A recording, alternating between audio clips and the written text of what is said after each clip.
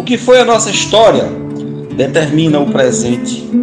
Toda a nossa trajetória que formou a nossa gente, o que somos na essência, nossa humana consciência, o que somos de verdade, só encontra quem procura etnia e cultura, toda a nossa identidade.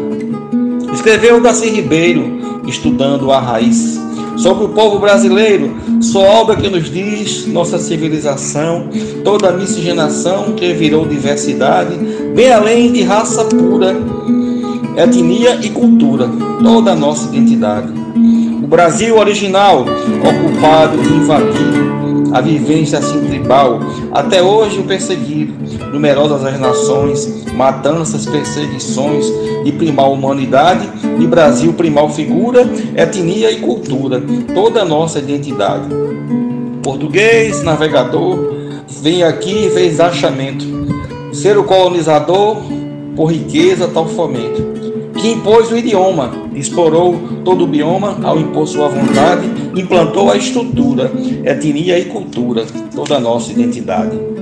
Africano escravizado, que veio em nau negreira para a terra, arrancado da lavra canavieira e depois mineração de café à plantação, construiu brasilidade, coautor desta escultura, etnia e cultura, toda a nossa identidade.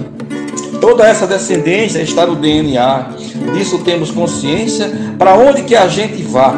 O Brasil, um novo mundo, no sentido mais profundo, voz da latinidade, variada tal pintura, etnia e cultura, toda a nossa identidade.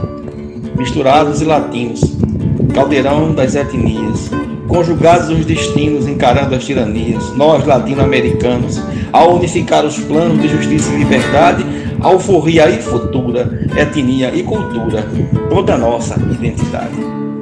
Aqui quem vos fala é Alan Salles, músico, compositor e poeta cordelista da cidade do Recife.